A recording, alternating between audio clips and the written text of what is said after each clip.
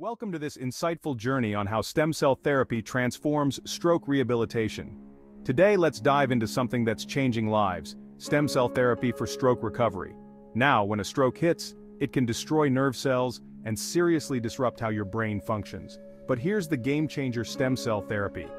This treatment can actually regenerate those damaged nerve cells, repairing neural circuits and bringing functions back online especially using induced pluripotent stem cells, iPSC or mesenchymal stem cells, MSC, we're talking about real nerve regeneration here.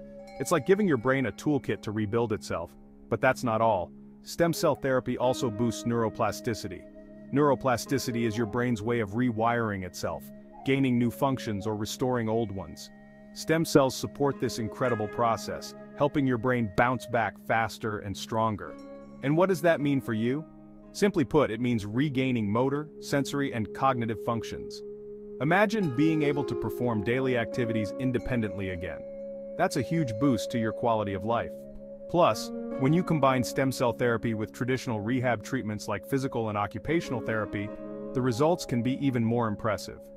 It's a synergistic effect, making your rehabilitation journey more effective and rewarding, so stem cell therapy isn't just a treatment, it's a beacon of hope for stroke survivors.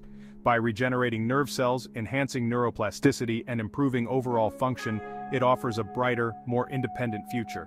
As stem cell technology continues to advance, the possibilities for recovery will only grow. It's an exciting time in medicine and I'm thrilled to see where it leads. Thanks for watching, and take care of yourselves.